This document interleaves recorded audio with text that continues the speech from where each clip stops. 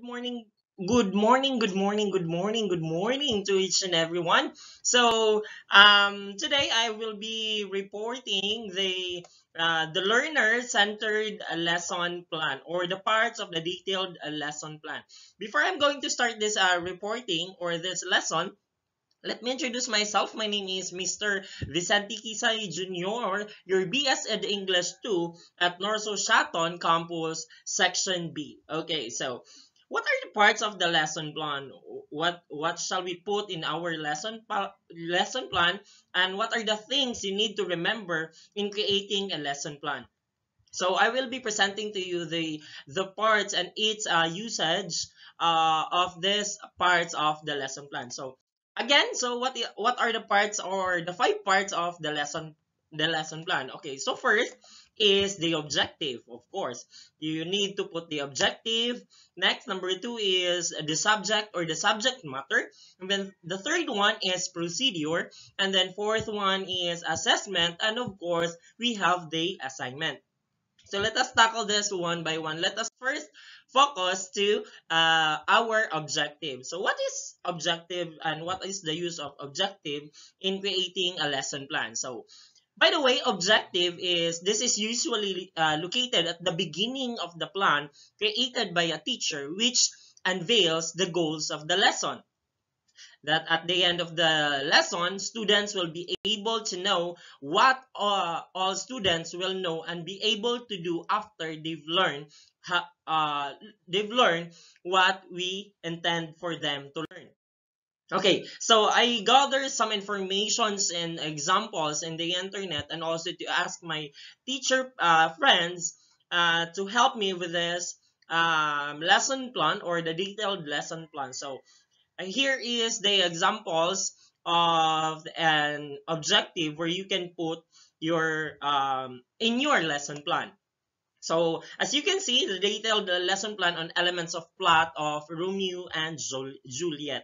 So this is prepared by Sean Nicole Halanduni and Ivor Dugo. And then the objective here is uh, at the end of the 45 uh, minutes lesson, the students shall be able to to to know the plot line of the story Romeo and Juliet. And then they will also know what's the plot, like the specific and the cognitive. Uh, and also, you can also put in the objective, uh, the uh, outcome of the students will create a paragraph summarizing the plot of Romeo and Juliet. Okay. I also made some another reference coming from uh, Kilantang this is from, I think, um, if I am not mistaken, this was taken or given by me with one of the student of uh, University. So as you can see, uh, there are lots of things that you can consider in creating a lesson plan. you can also put some, excuse me, uh, you can also put some, uh, the name of the teacher, the grade level, which is this is really basic or this is really the standard procedure okay so uh, in his objective or in her objective you can also see the uh, possible outcome of the students while he is or he or she is making the teaching okay number two is the subject or the subject matter okay what is subject matter okay the subject matter is uh, or includes the specific topic and how that relates back to the national curriculum.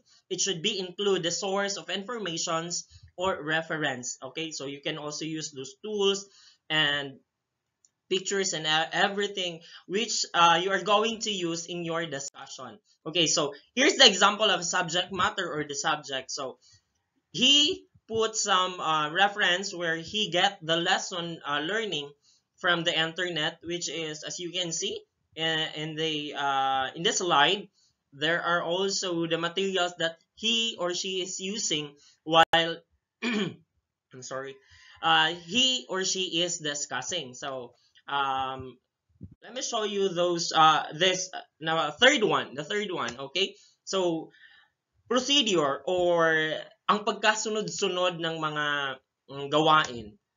So uh, it makes up the body of the plan and it is an explanation how the lesson progress step by step. Okay, so I, I think I really think that they they call this one as a a um detailed lesson plan because you're going to do it uh by detail detailed by detailed okay?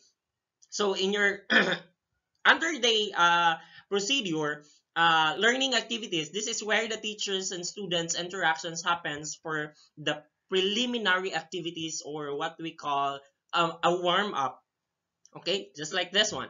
Uh, warm up is a lesson activity that helps get students in learning frame of mind. It could be energizing activities or some recap from your uh, previous lesson. This is also for us teachers to get the attentions of the students and, and they will know that your subject is a fun, a fun subject. They will try to love the subject when the subject teacher is lively when they are discussing or they are more engaging okay so uh, uh, in lesson proper of course this is the lesson proper where where you can see they or where you can discuss your lesson uh, all the lesson or the the possible topics or the possible um, references that you can give to them this is where the main discussion begins. It includes the, the following. Presentation is really a must why? Because this is the, the way or this, the way the students that can create or that can engage to your discussion and they will not feel get bored when you are discussing. It can be uh, pictures, video, or etc. The next is the motivation, which is a motivational coach to catch the interest of the students. Yes, this is very important. This is for you to become a more effective uh, teacher or a facilitator, uh, a facilitator in the future. And then the, the discussion. Discuss the related topics. You can get some examples from your own lives to, to, to be more engaging. And then, of course, you can also ask students from their um, from their what they call this experiences for them to uh, more be uh, or they can be more engaged with the topic that you are going to discuss okay? So here is the example of the procedure. So the procedure is just like this one. You have to put the uh, teacher's activity and then the student's activity. This is more on learner centered lesson plan because in the learner centered lesson plan it is more about on engaging a students or uh, students involvement process. Okay.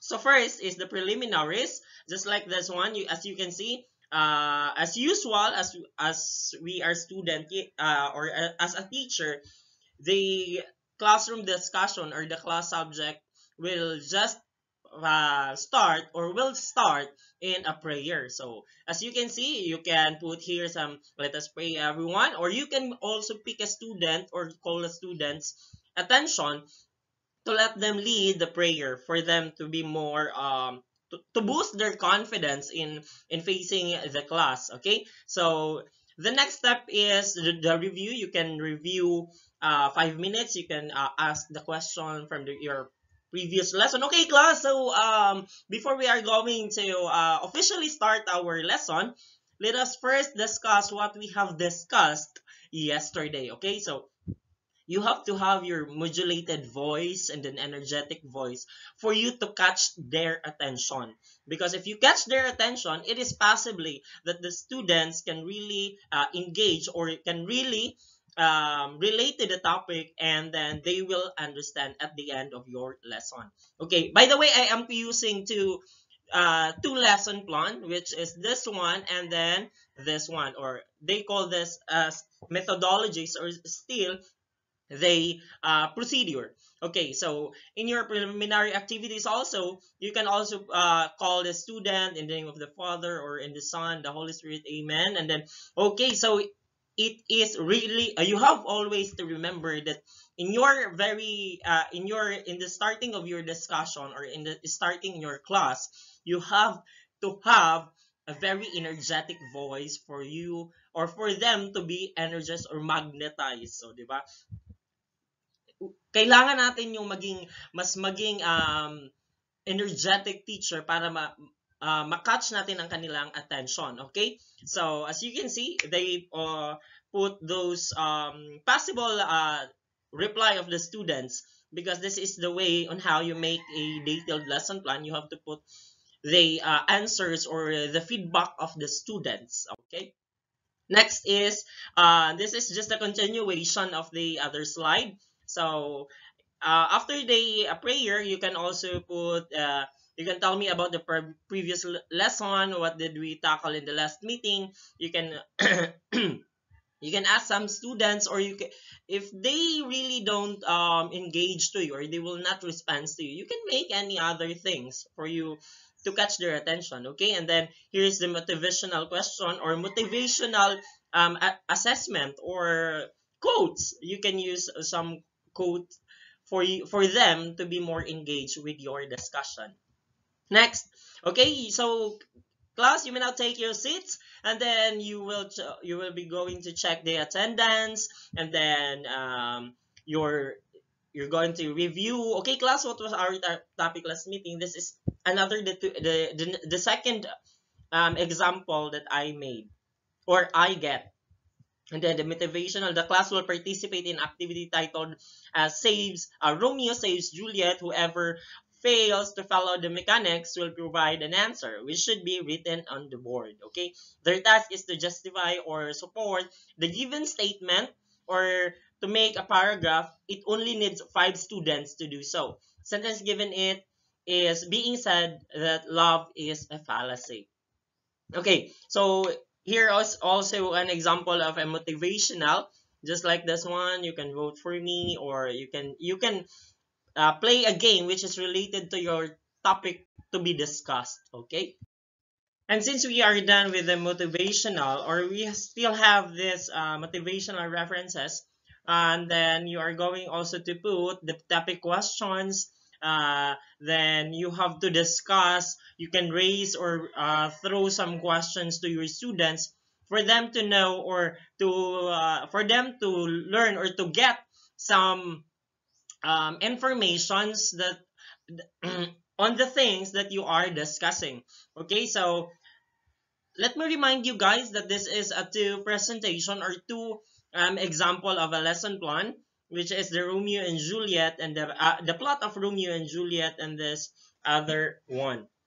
And then um, you can uh, discuss the to them the exposition since you are um, you are discussing about the uh, or you are making a, a, lesson plan which is the Romeo the plot of Romeo and Juliet then you can uh, um, emphasize to them the uh, the parts of those uh, the story the part of the story okay so here is some exposition the rising action and the climax.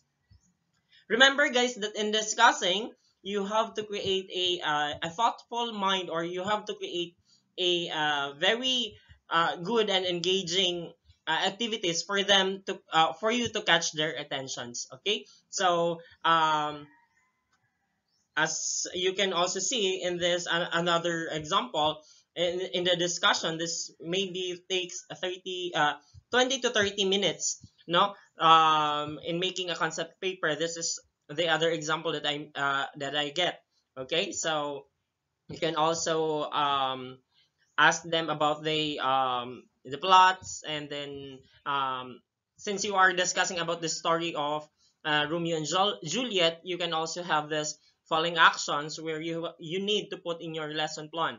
So you all and then next you have to create a drills and activities where uh, you can measure uh, until where they are discussing or they learn from your discussion.